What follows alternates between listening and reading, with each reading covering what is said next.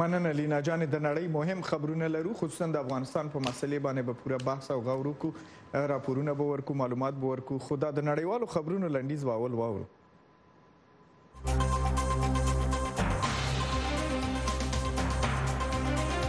د مهمو خبرونو سرټکی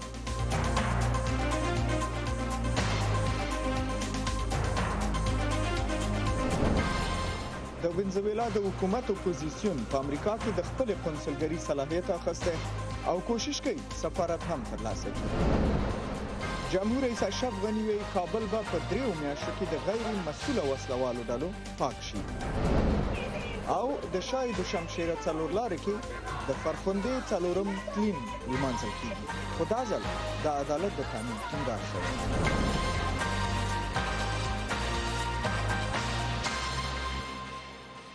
ستړي مشي په افغانستان کې د مخدره موادو د تولید او د یو اجتماعي رنز د پیدا کېدو په مخنیوي باندې راپور هم لرو خو هیله ده دا خبرونه به تر پای پورې وګورئ او وایورئ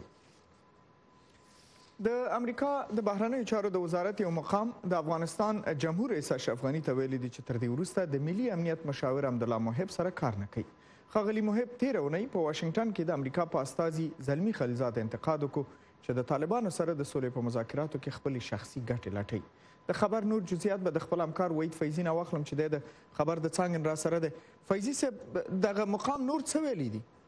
اشنا صاحب رويټرز خبري اژانس د څلور امریکایي چارواکو له قوله لیکلي چې د افغانستان د ملي امنیت شورا سلاکار سره د اړیکو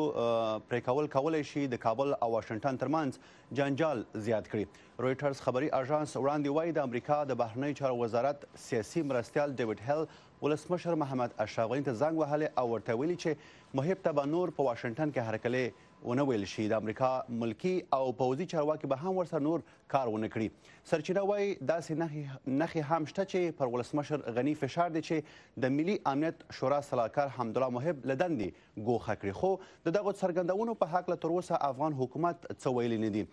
بلخوا ځانګړی استازی زلمی خلیزاد واشنگټن ته له رارسېدو سره د یو شمېر هیوادونو له سفیرانو سره هم لیده کاته پیل کړي دي په تازه لیدنه کې خلیلزاد د برېټانیا او پاکستان سفیرانو سره لیدلي دي. خلیلزاد په ټویټر لیکلي دي، ستاسو لیدلوری که سیمه ییز دی او که نړیوال، په افغانستان کې د جګړې پای ته رسېدو سره به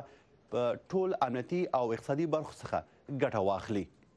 د یو بل خبر له مخې د افغانستان د ملي دفاع او کورنیو چارو وزارتونو د افغان امنیتي ځواکونو د یو شمېر قراردادیانو څخه د پوځي تجهیزاتو او د اخیستو په هکله د سیګار د ورستي راپور په غبرګون کې وایي چې پلټنې کوي او د دې پلټنې لپاره یو ټیم هم موظف کړی دی د افغانستان د بیارغونې لپاره د امریکا د سرمفتش ادارې یا سیګار په تازه راپور کې ویل چې د امریکا د پوځي انجنیري قلو اردو د عملیاتو او پوځي وسایطو د ساتنې تړون اووه سوه او اتیا زره امریکایي ډالرو چې افغان ځواکونو د دغه قرارداد له قرارادیانو سره ناسم چلند کړی او د هغوی شخصي وسایل یې ترې اخیستي دي. د افغانستان دفاع وزارت ویلي د سیګار راپور نه ردوي او نه یې هم تاییدوي خو د کورنیو چارو وزارت بیا وایي چې د دې راپور ډېرې برخې نه مني. سیګار راپور چې څه موارد چې په دغه ګزارش کې راغلي دي دا موږ کاملا ردوو خو دا نه ردوو چې ځینې حلقات به لا هم نه وي چې دوی به فساد زمینه برابروي د دغه حلقاتو د شناسایی په برخه کې د کورنیو چارو وزارت رهبری زیربط ارګانو ته کشف او استخباراتو ته عملیاتي ارګانو ته او پراتفي بخشونو ته په جدي توګه سپارښتنه کړې چې دغه اشخاص چې د پولیسو په مقدس لیکو کې دي او دغه مقدس لیکو ته تور رنګ ورکړی دی دا باید شناسي شي ونیول شي او د خان منګول ته وسپارل شي د تشکیل پر اساس افغانستان اوس اوس 210 زره پوز لري چې تر 2040 کال پورې نړیوال ټولنه په تیره امریکا او ناتو ورسره مالي مرسته کوي او دغه راز برېټانیا، روسیه، چین، ترکیه، فرانسه، هند او نور هېوادونه افغان پوځ سره د روزنې په برخه کې همکاري کوي. اشنا صاحب. مننه فیض صاحب معلوماتو نه. کور ودان. درنو لیدونکو په واشنګټن کې د افغانستان د ملي امنیت د مشاور عبدالله محب وروستیو څرګندونو د قطر د مذاکرو په اړه پوښتنې پیدا کړي. په دې اړه د جمهور رئیس غني د یو پخواني جګپوړي سلاکار او په پاکستان کې سفیر حضرت عمر زاخیلوال صاحب نظر اخلم چې په سکایپ یې زموږ بلنه منلې ده. زاخیلوال صاحب تاسو ته ستړي مه شي وایم، پوښتنه هم ورسره کوم چې په دې لنډو ورځو کې تاسې تعقیبوئ دا د امریکا او افغانستان د دولتونو ترمنځ خپرو شوو بیانونو ته په کتو باندې د دواړو هیوادونو د روابطو په اړه تاسو څه نظر لرئ؟ د فضا خړه پړکۍ خصوصا د سولې د هڅو په اړوند باندې چې باید د امیدوارۍ یو فاکتور وسی او د خصوصا د افغانستان او امریکا د حکومتونو ترمنځ د همکاریو په نتیجه کې د دې بریالیتوب یقیني کېدای شي نو دغه یو فضا چې دا د تبن مایوسه راوړته کوي ستاسو په باور باندې د افغانستان د حکومت او په ځانګړي توګه د خاغلی خلیلزاد په اړه باندې د خاغلی محب د څرګندونو هدف به څه وو چې هغه مشخصا هغه یاد کو او څه ته بل اخره نتیجه ترلاسه څه شو دینه د فکر کوم تیروتنه و فکر کوم چې خلا د معلوماتي و د حکومت په په طرف باندې دغه سي ځنی ځکه چې یو څه په جریان کې مونږ یو په موقت حکومت باندې لا تر اوسه هیڅ نو خبري د امریکا طالب ترمنځ شوې دی او نه د طالبانو هغه مجلس په مسکو کې شو په هغه کې دغه سي بحث رانه شوې په هغه اړوند په د موقت حکومت په اړوند باندې تبصری کول او یا معنا مثلا په داسې انګیرنه چې په دې برخه دي کې دي یا توتیا کوم موجوده وسی او یا د شخصي اهداف موجود وسی دا فکر کوم چې یو یو یو جدي تیر وته نه باید چې دا څرګندونه شي خصوصا هغه معلومات دقیق په دغه برخه کې ته داسې ښکاري چې تاسې دا مذاکرات نږدې نه او څارئ یعنې دقیق هستئ ورته تاسې شخصا او ستاسو ملګري چې ډېر همفکره دي د سفیر زلمی خلزاد دغه روان مذاکرات په قطر کې څنګه مجموعا ارزوي ځکه داسې عمومي تبصره تاسو ته ویم چې تصور داسې و چې امریکا باید په اول قدم کې طالبان اوربند ته قانع کړی وي بیا د افغان دولت سره خبرو ته قانع کړی وي بیا د خپل عسکرو وتلو باندې غور کړی وي ګوري همدغه دقیق همدغه هڅه د خلیلزاد هم دا اوس خلیلزاد څلور ټکی همیشه په خپل خبرو کې یادوي یو چې د طالبانو سره د امریکایي فوجونو او د بهرنۍ فوجونو د وټلو خبره ده دویم د طالبانو ژمنه چې د بهرانیو ترورستانو سره پریکون اعلان کوي یا ځای ورنکړي ورته چې د افغانستان دوی ته تهدید وګرځي دوه نورې مسلې یو د اوربند او دویم بین افغاني مذاکراتو په نتیجه کې په سولې باندې توافق دی او همیشه دا ویلي دي چې په هیڅ یو باندې توافق نه دی شوی ترڅو چې په ټول توافق نه وي شوی نو د امریکا او د طالب ترمنځ سره د دې چې په دوه مهمو موضوعګانو چې هغه د امریکا او طالبانو ترمنځ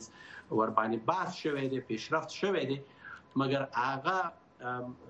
پیشرفت او یعنی هاي توافق مشروط په دې دی چې په دوه نورو خبرو باندې پیشرفت وشي چې استاسو خبره بلو کېدل شي استاسو په وینا چې تفسیر غلط واخصل شي یا مخکې یاد شي چې د وتلو د عسکرو وتل یا د بین الافغانی خبرو خو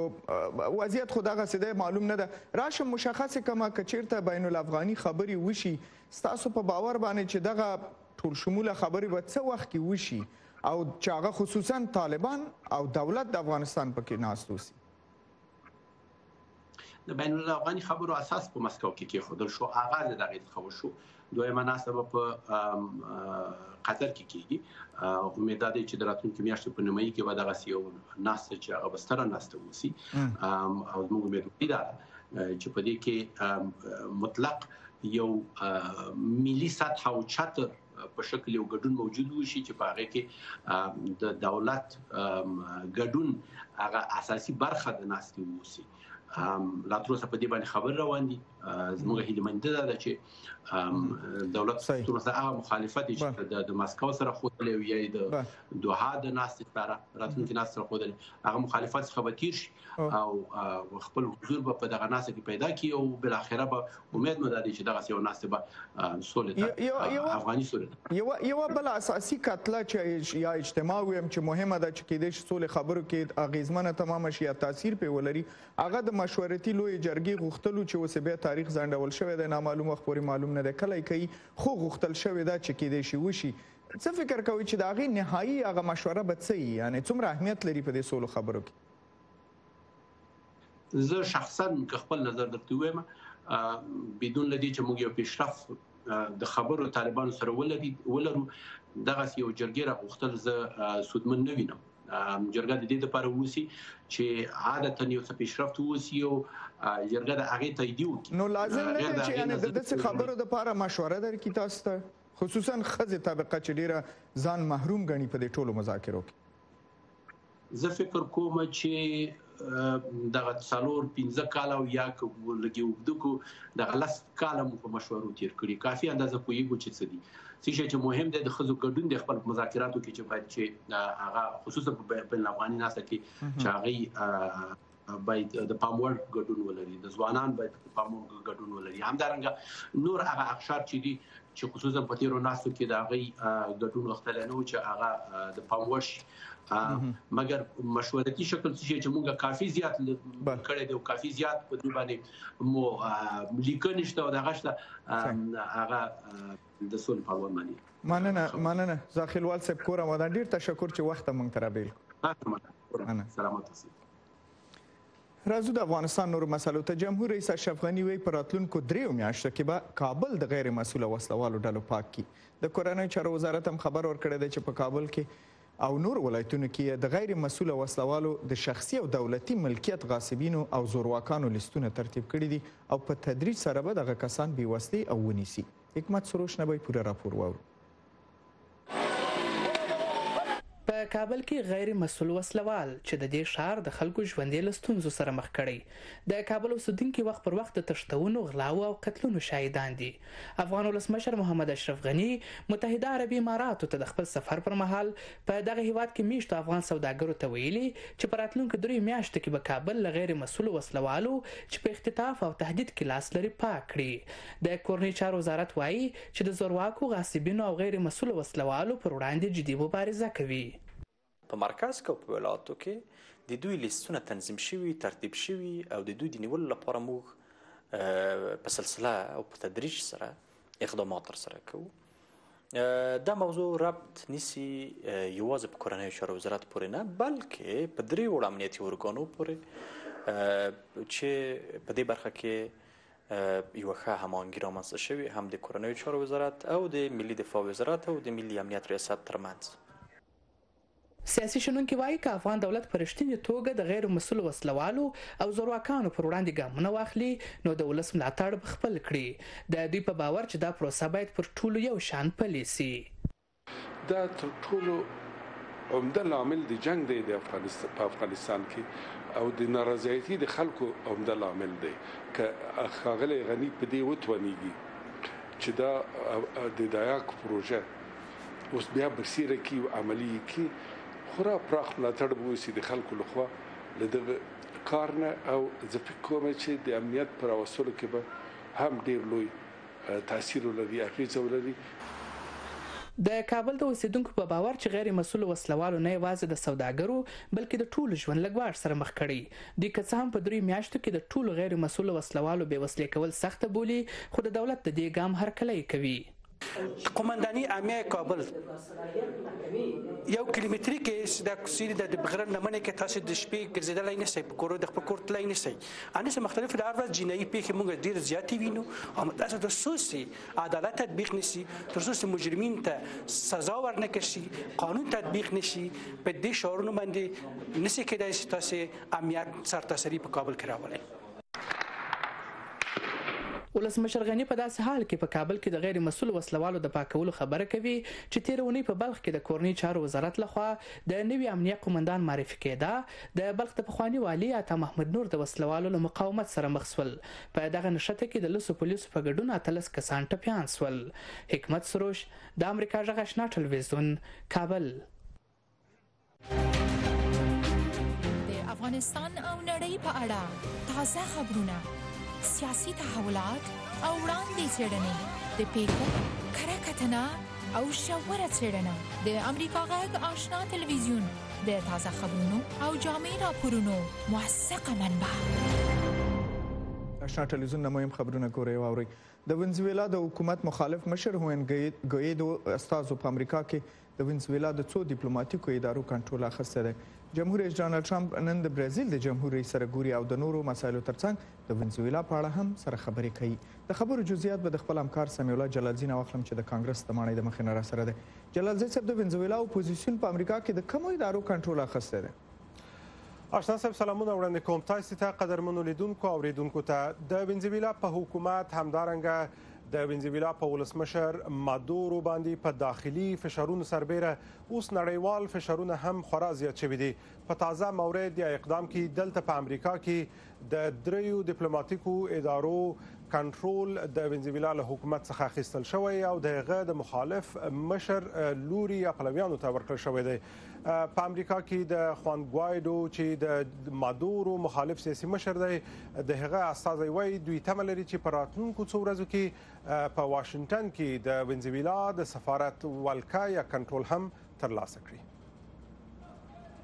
په امریکا کې د مخالف سیاسي مشر هوان ګوایډو استازي کارلوس وکیو وویل مخالف لوري په واشنگټن کې د ونزویلا د دفاع وزارت د ودانۍ او په نیویارک کې د هغه هیواد د قونسلګرۍ د ودانۍ کنټرول ترلاسه کړی دی هغه وویل تمه کیږي چې په راتلونکو ورځو کې په واشنگټن کې د ونزویلا د سفارت ولکه هم ترلاسه کړي دا اقدامات وروسته لغه وشول چې د مخالف لوري جمهور رئیس وان ګوایډو د ملي اسمبلی کنټرول ترلاسه کړ او د اساسي قانون له مخې ځان د جنوري په میاشت کې د وینزویلا لنډمهاله ولسمشر اعلان کړ ګوایډو وایي د 2013 کال په می کې ټاکنې چې له مخې مادورو بیا ولسمشر شو غیر قانوني وي نوموړی د امریکا په ګډون د ګڼ شمېر غربي هیوادونو لخوا د وینزویلا د مشر په توګه منل شوی دی Pero también vimos موږ به په تدریجي ډول په وینزویلا او له وینزویلا نه بهر کنټرول ترلاسه کړو. خو په یاد ولرئ چې موږ په وینزویلا کې د داسې بدلونونو د راتګ په حال کې یو چې بیرته شاته نشي ستنیدلای اکثریت ولس د یو بدلون غوښتونکي دي نیکولاس مدورو چې هوان ګوایډو د امریکا یو لاسپوڅی ګڼي غواړي د یوې کودتا لاري هغه لری کړي نوموړي وروسته له هغه له واشنګټن سره روابط وشلول او خپل کارمندان یې بیرته کاراکاس ته راوبلل چې ګوایډو یې په رسمیت وپیژانده په واشنګټن کې د وینزویلا استازی وایي د 15 50 مامورینو څخه 12 پریکړه کړې چې واشنګټن کې پاتې شي او د ګوایډو ملا وتړي We want to set a democratic system غواړو دیموکراتیک سیستم جوړ کړو غواړو خپل هیواد ورغوو او په ورته وخت کې غواړو په امریکا کې خپل دفاتر چې اوس یې کنټرول لرو بیا ورغوو غواړو دلته په امریکا کې خپل وګړو ته د لاسرسي زمينه مساعده کړو بلخوا د وینزویلا د حکومت مخالف مشر هوان ګوایډو په کاراکاس کې د ملي اسمبلې مخته چې د مادورو لخوا کنټرول کیږي د مخالف مشر په توګه چې په امریکا کې د خپل هیواد د دریو ډیپلوماټیکو ادارو کنټرول واخیست د خبريالانو سره خبري وکړي caso de grupo de contacto دا رښتیا ده چې نن یا سبا به د امریکا خاص استازی له روسیې سره وګوري یو پرمختګ ته سترګې په لار یو چې د ثبات او عبوري دورې لپاره به ډیر مهم وي البته کله چې یو ځل موږ استبدادي دوره پای ته ورسوو دا هغه څه دي چې موږ په ټولو مجالسو کې ورته هیله من یو. تر اوسه د ونزویلا د معلوماتو وزارت د مخالف لوري لخوا په واشنګټن کې د سیاسي دفاترو د کنټرول د ترلاسه کېدو په اړه څه نه دی ویلي. جمهور رئیس ټرمپ نن دلته په امریکا کې د برازیل ولسمشر سره وګوري ویل کېږي چې په دې ملاقات کې به پر تجارتي روابطو سربېره له واک څخه د مادورو د ګوښه کېدو په اړه د نړیوالو هڅو سره د برازیل د همکارۍ په اړه هم خبرې اترې وشي برازیل هم د مادورو رژیم نامشروع ګڼلی دی او له خوان ګوایډو څخه یې بشپړ ملاتړ کړی دی آشنا صاحب مننه معلوماتونه کورواله او د نوي زیلاند صدراعظم خلکو ته ویلي دي چې په جوماتونو باندې بریدګر ته دې شهرت نه ورکوي. صدراعظم آردن نن سې شنبې خپل پارلمان ته په وینا کې په کرایسټ چرچ کې په دوو جوماتونو باندې په برید کې د پولیسو او د قربانیانو زړورتیا وستایله او بریدګر یې ترګر بللی دی. تفصیل به یې په راپور کې واورو. هغه ترهګر دی هغه جنایتکار دی هغه سخت دریځ دی خو کله چې زه خبرې کوم هغه به بینومه پاتې شي د نیوزیلند صدراعظم جسندا آردرن نن سه شنبه د هیواد په پا پارلمان کې د ازادارۍ په وینا کې د هغه وسلوال بریدګر په وړاندې د عبادت کوونکو زړورتیا او جرأت وستایه چې 13 جمعې په دوو جماعتونو کې 50 تنه لمونځ کوونکي وژل او 50 نور یې ټپيان کړل نعیم رشید. پاکستاني الاصله نعیم رشید وروسته له هغه وژل شو چې هڅه یې وکړله له ترهګر نه وسله واخلي. هغه د نورو عبادت کوونکو د ژوند د ژغورلو لپاره خپل ژوند قربان کړ. عبدالعزیز چې د افغانستان دی، د وسلوال ترهګر سره مقابله وکړه. هغه خپل ژوند له خطر سره مخامخ کړ، خو بې له شکه چې د ډېرو ژوند یې وژغوره. مشکوک بریدګر اته ویشت کلن برنټن ټارنټ چې ویل کېږي د سپین پوستو د نژاد پلوی و د شنبې په ورځ په خپله لومړۍ محاکمه کې په وژنو تورن شو ټارنټ به د اپریل په پنځمه بیا هم محکمې ته حاضر کړای شي پولیس وایي پر ده ښایي نور تورونه هم ولګول شي په نیوزیلند کې د ترهګرۍ دغه برید امریکایي مسلمانانو ته سخت ټکان ورکړی دی. موږ له خلکو غوښتنه کوو چې بیداره واوسي او د دې ترڅنګ به موږ هر هغه اقدام وکړو چې زموږ د خلکو خوندیتوب زیات کړي. مذهبي مشران د مسلمانانو څخه غواړي چې په پراخه کچه په خپلې ټولنې کې او د نورو ادیانو له ټولنو سره اړیکې ولري. اجازه ورکړئ چې هغوی همکاري ولري او په مجموع کې د بشریت د ښېګڼې لپاره مسلمانان او غیر مسلمانان سره یو ځای شي. ځان مه منزوي کوئ، که تاسو یوه ستونزه لرئ د هغوی سره یې شریکه کړئ. د راپورونو له مخې د کرایسټ چرچ د پېښې مړي نن سه شنبه د اسلامي رسم سره سم د جنازې مراسمو ته چمتو کیږي او سبا چهارشنبه به کورنیو ته سپارل کیږي چې خاورو ته وسپارل شي. په وژل شویو او ټپیانو کې د افغانستان، پاکستان، سعودي عربستان، ترکیه، اردن، بنگلاديش، مصر، اندونیزیا، مالیزیا او امریکا وګړي شامل دي. د نیوزیلند د مهاجرت دفتر ویلي چې د دغو قربانیانو خپلوانو ته ویزې ورکړې دي چې د خپلو عزیزانو په جنازې کې د برخه اخیستو لپاره نیوزیلند ته ورشي. برېښنا عمرخېله د امریکا غږ آشنا تلویزیون واشنګټن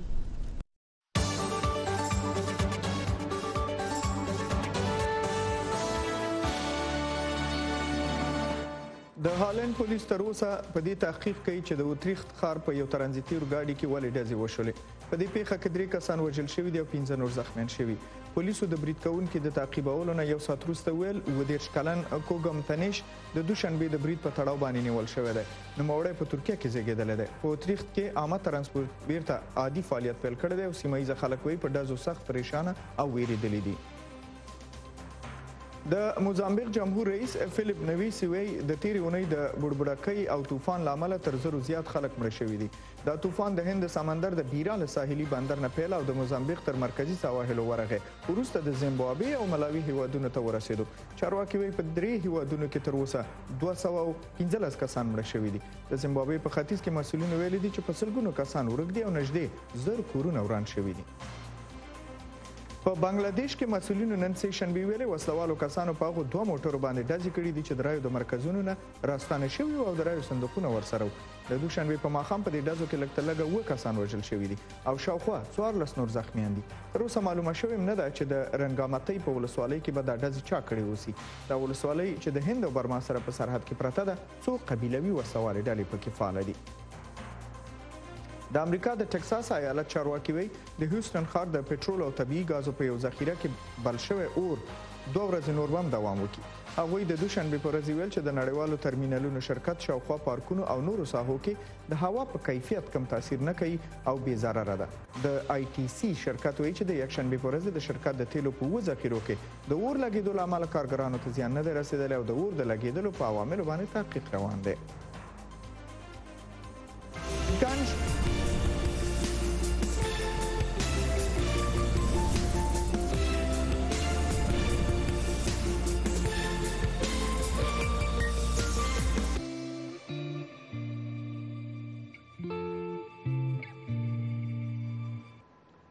راځو دغه افغانستان مسلې ته. ګڼ شمېر ښځو د کابل په شای دوشمشیره ساحه کې د فرخندې تلین ولمانځو. دا هغه ځای دی چې څالور کاله مخکې د فرخندې په نوم باندې یوه ځوانه ښځه د سلګونو لارویانو د خوانه په ډېره بې رحمه او وحشتناکه بڼه ووژل شوه. د نننیو مراسمو په اړه باندې ګالیا نورستانۍ نور نور معلومات موږ سره شریکوي چې دلته سټوډیو کې راسره ده. ګالیا جانې په دې لاریون کې د ښځو غوښتنې څه وې اصلا؟ اشنا صاحب لودین کوونکو په وحشتناک ډول د فرخندې د وژل کېدو د تلین په لمانځې د خزو پر وړاندې د تاوتریخوالي قضیو حل ته د نه رسیدګۍ جنسي نابرابرۍ او د خزو د ځورونې پر وړاندې خپل اعتراض څرګند کړ دغه میرمنو وویل چې د ښځو سره د تاوتریخوالي په لسګونه قضیې ثبت شوي چې تر اوسه انصاف ورسره نه دی شوی د دوی په وینا چې د فرخندې له وژل کېدو څلور کاله کېږي خو په دغو څلورو کلونو کې د ښځو پر وړاندې د تاوتریخوالي په لسګونه نورې قضیې چې د فرخندې له قضیې وحشتناکه دي ترسره شوې دي ولس کلنه فرخنده څلور کاله وړاندې په کابل ښار کې د قرآن سوځولو په تور د یو شمېر قهرجنو کسانو لخوا په وهلو او ډبولو ووژل شوه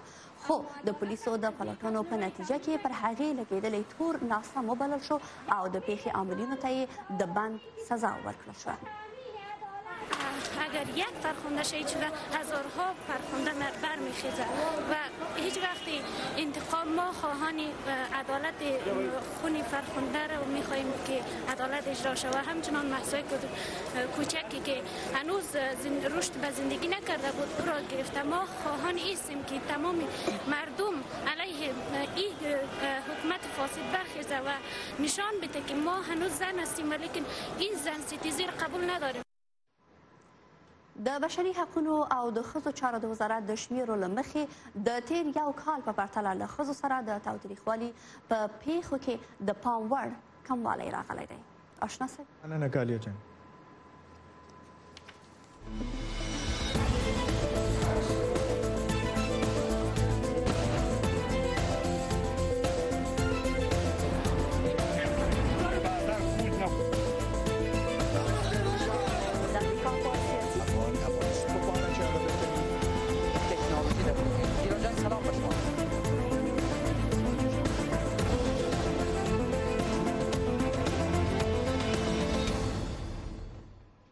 خبرونه په دې وروستیو شیبو کې غواړم چې تاسو د نړۍ څو په زړه پورې پیښې د رڼا دوراني غورځنګ په راپور کې وګورئ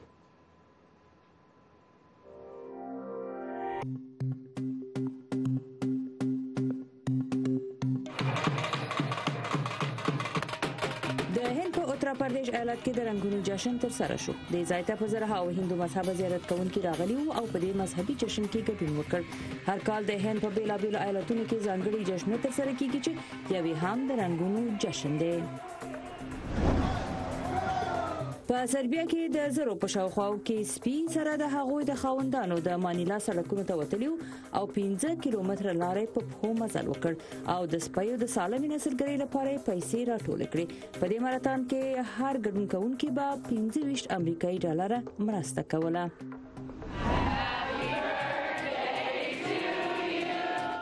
د امریکا د سترې محکمې قاضي شپږ اتیا کلنه کلیزه یې د هغې د مینوالو لخوا په ځانګړي مراسمو سره ولمانځل شوه روبرت بادر جانسبورګ د امریکا د سترې محکمې تر ټولو د ډیر عمر قاضي ده چې په کار بوخته ده هغه د سختو سپوتي حرکاتو په ترسره کولو سره شهرت لري نو د هغې مینوالو هم د سترې محکمې مخې ته سینه کشي وکړه او د هغې شپږ اتیومه کلیزه یې او بیا هم د امریکا نه د کیوبونو د لوبو یو تن مینوال د لاس پر ځای په هو باندې د کیوبونو جنجالو به حل کوي چې په دې سره د نړۍ پام ځان ته ورغځولې ده هغه په ډیر کم وخت کې کولای شي چې جنجالي ستونزې حل کړي او هغه هم په خو باندې تر کال هغه په کم وخت کې په خو باندې د جنجال په حل کولو سره لومړی مقام ترلاسه کړ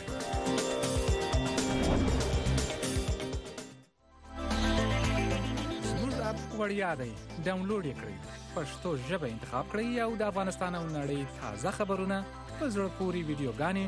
عکسونه او ګڼ نور مطالب په خپل موبایل وموندئ وی او افغان او وی او افغانستان زم ټینګار کوم د آشنا ټلویزیون خبرونه پای ته رسو خو هیله ده چې په ټولنیزو رسنیو باندې لکه د فیسبوک په پاڼه باندې په ټویټر باندې په یوټیوب کې زمونږ ویډیوګانې او خبرونه او معلومات وګورئ، واورئ درسره، ویې لولئ درسره او نورو دوستانو سره هم درسره شریک کړئ. زمونږ لږ ساعت وروسته د افغانستان لپاره د امریکا غږ آشنا راډیو خپله خبري خپرونه پیلوي. هیله ده چې هغه هم درسره واورئ او هغه نه وروسته د خبرونو وروسته البته بحث ته هم غوږ شئ. تر بیا په خدای سپارم.